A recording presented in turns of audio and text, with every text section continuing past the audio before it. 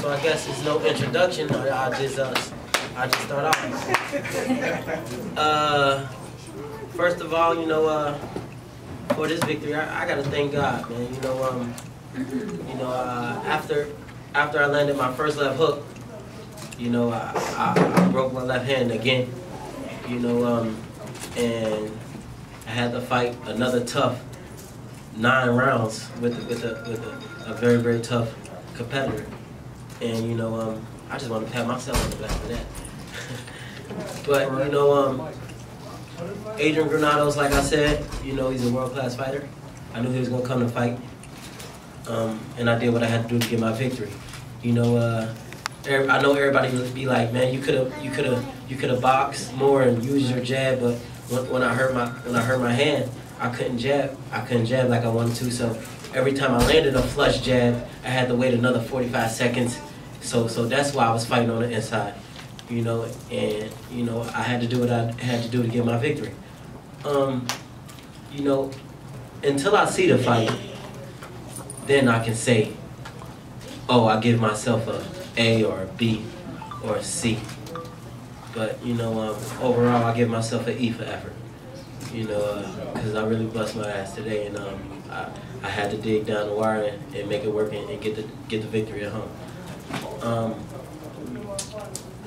uh, I, I, really ain't got nothing bad to say about nobody. You know, um, like I said, you know, moving on. I just want to be more positive and, and, and, be a better father. You know, and and see smiles on my kids and my nieces and nephews' faces. And before this fight, my son said, uh, "Can you just promise us a win tonight?" You know, uh, my job is done. You know, uh, and I just want to thank everybody for coming.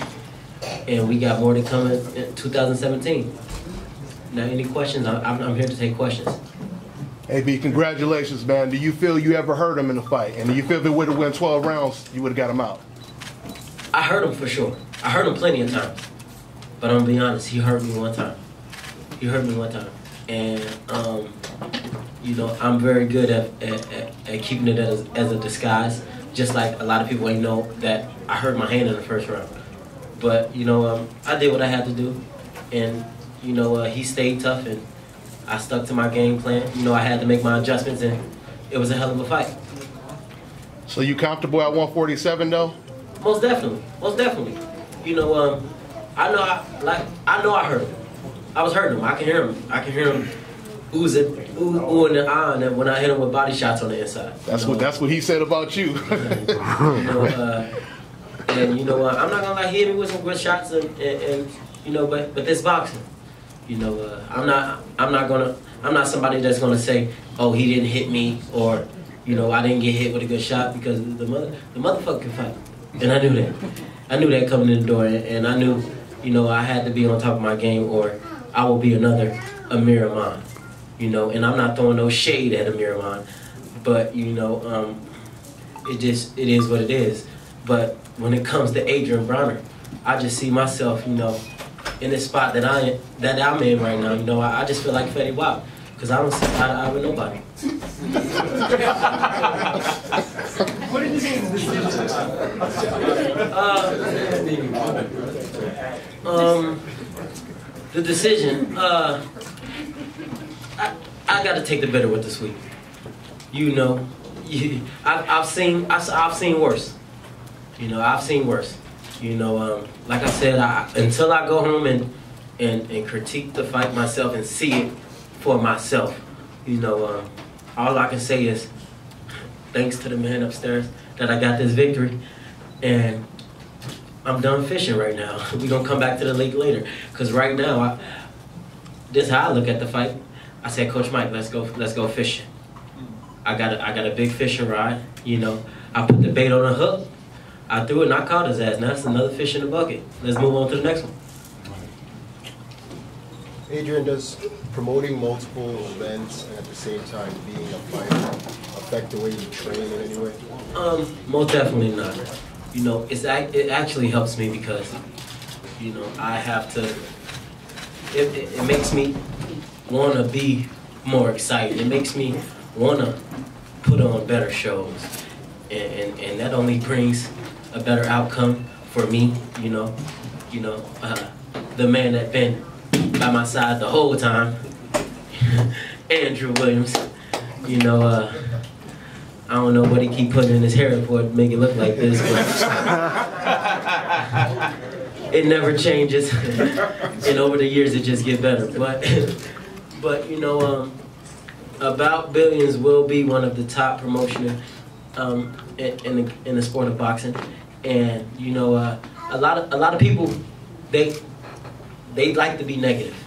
Right now, I'm trying to put all the negative to the outside and, and just most positive energy in my circle as possible.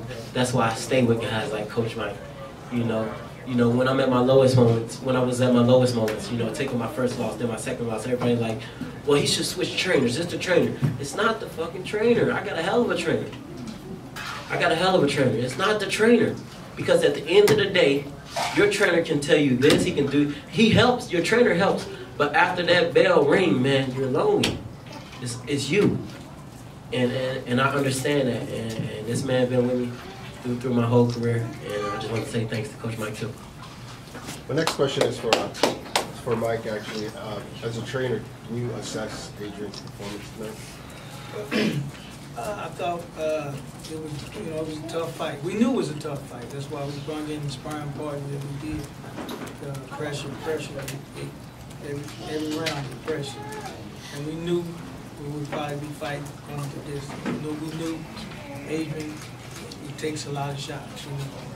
And, uh, you know, he fought with his heart. He fought for the city, for Chicago.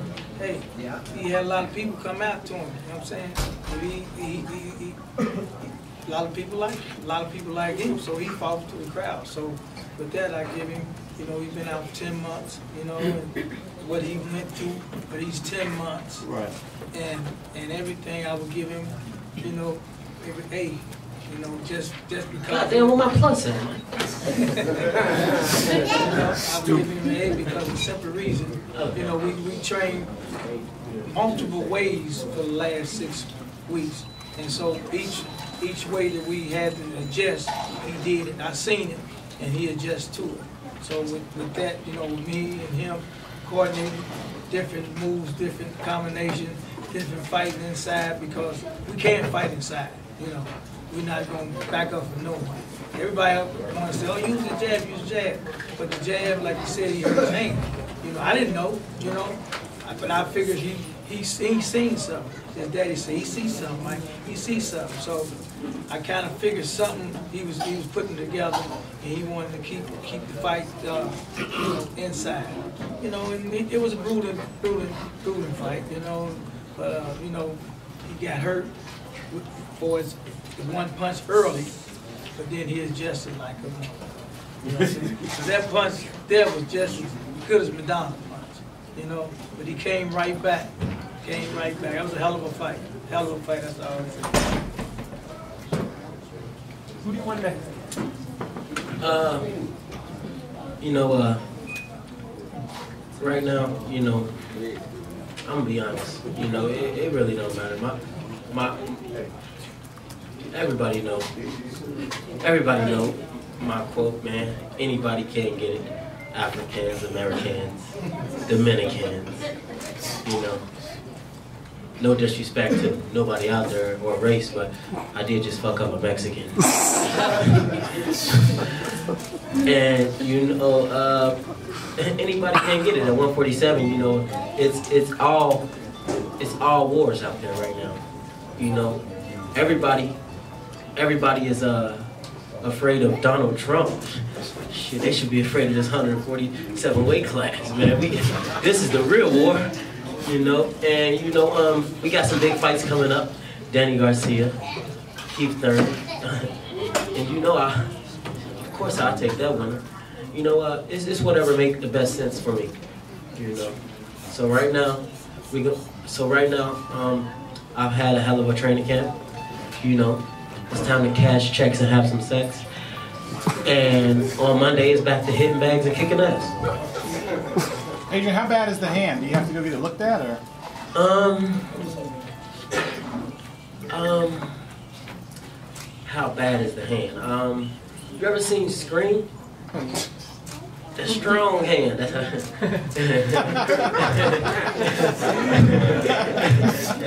nah, but uh, I mean, I, I I went through this injury um, injury before, and you know it, it's gonna take a little time before um, I become confident enough to throw a full left hook again. But you know, with my mind mind state, you know, I'll be back in the gym in no time. You said anybody can get it. You got a lot of friends at 147 too. I just fought my friend. You're right. I just fought my friend.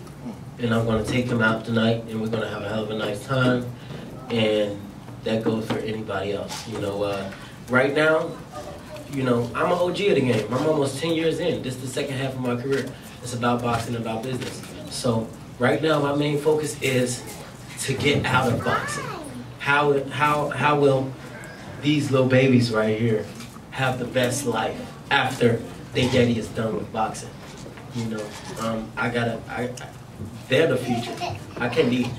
I can't. I can't be going in the ring like, oh, shit. When I get to the ring, after this fight, I'm, I'm going to get an. I'm going to get another uh, Maybach. I'm going to get the new Maybach. I'm going to get a. I'm going to get the new Lamborghini. Nah. It's, it's about. It's about them, man. It's about them, and, and, and that's where I'm at, putting people in better position and, and just staying positive and, and making this thing happen. Having said that, would that make Manny Pacquiao the top priority since he's probably the biggest fight out there for you? What's up, Bob? We just got off the phone not too long ago. A lot of people don't know, but you know, everybody thought I was stupid, but you know, I'm one of the smartest 27 year olds out here. Now they talking right, okay? Mm. That's why I left them. Now they talking right. Mm. You see what I'm saying? Mm. You know what I'm saying? So they had to come back and stumble on their words, you know. So, um, like I told them, as long as the numbers are numbers right, we're gonna have a hell of a fight.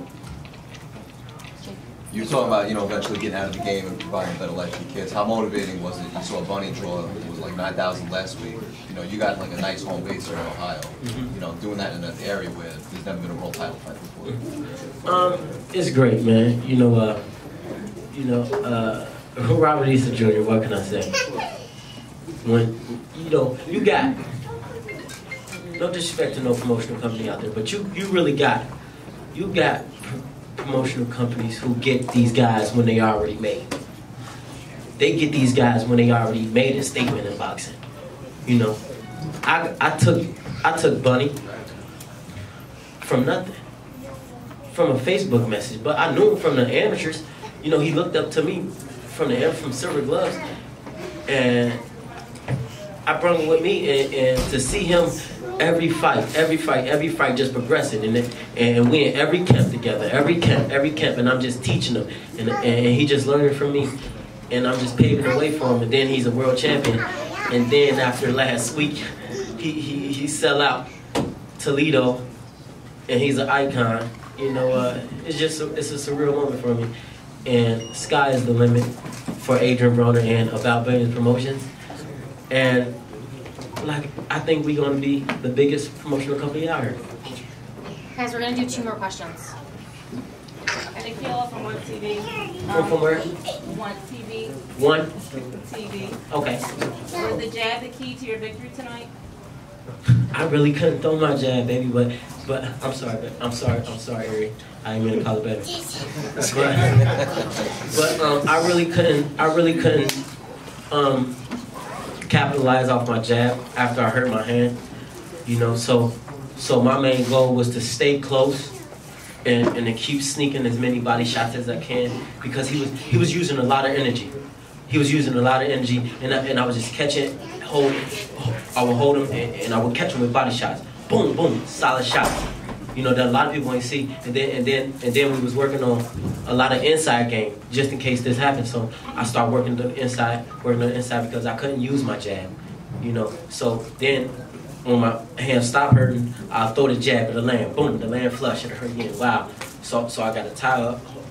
Same thing, you know. Um, and then you know, uh, I'm, I'm gonna let a secret out. You know, before I came over here, I was talking to Floyd, and he called me, and he was like, uh, cause he didn't come today. You know, his his his um his, his plane had a had a complication. You know, and, and it would have been bad if he were in the air. You know, so God bless that. He he stayed where he at. But you know, um, and he was just like, "AB, you know, this guy, he wants to get his shots off, so, so get yours off and wrap up." And then he was like, um, we was just talking, we was just talking, you know, we was talking about a game plan, and then he was like, uh, you know what, man? Well, he he say to everybody, he say he don't watch Friday, but I know he watch me just like I watch him. And um, he was like, you know what, man? You got a hell of an uppercut. You need to use that motherfucker more. And today, you know, it, he just put something in mind, and, and, and fighting today, you know, uh, it worked. So, you know, um, I want to thank them too. All right, thank you. Adrian, you mentioned wanting to take your career more seriously and setting an example. Can you um, point to any specific habits or things that you feel need to change? Um, I've, ch- I've changed a lot, um, personally, and you know, uh, spiritually. You know, just just every way. You know, it's a it's a you know. God blessed me when I was when I was so young. I, I I I've done a lot in the sport at a young age. I was able to do so much in this sport, and I was blessed with a, a, a substantial amount of money at a young age. So, you know, I was just out here just like, like, like one of them in a big candy store and everything free. you know, so, you know, it's, when Floyd told me this a long time ago, when, when we had some of our personal talks, he was like, um, you're gonna fuck up a lot. You're young. And I was like, what you talking about?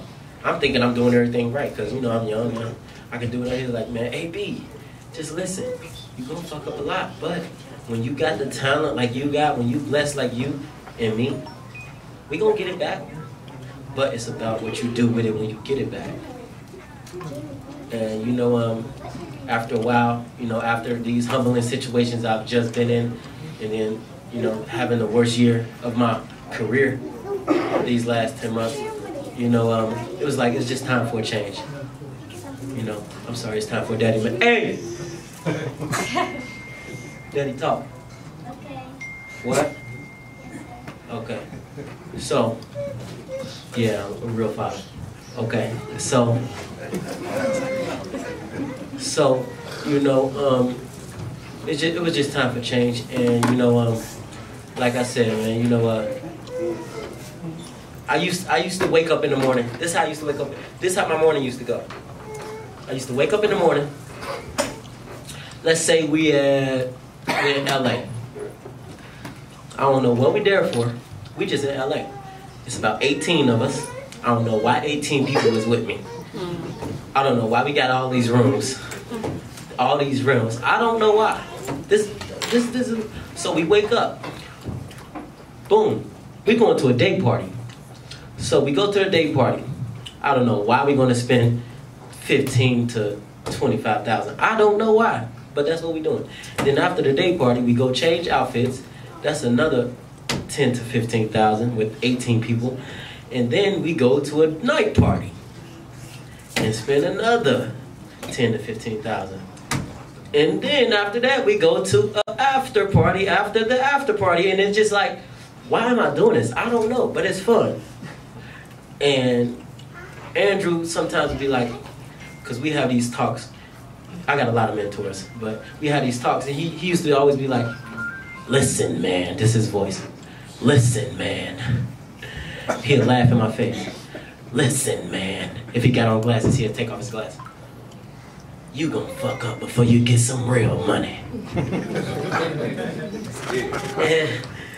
and then I'm like, shit, I, I already got seven figures. What you talking about? He's like, man, that ain't shit.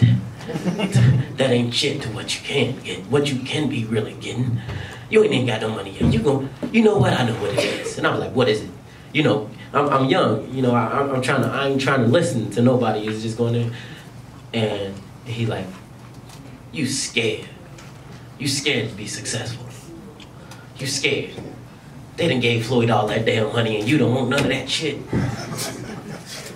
And then, like, it didn't really kick in until I was at the lowest moment of my life, like in these last 10 months. Then I'm like, damn, was I scared?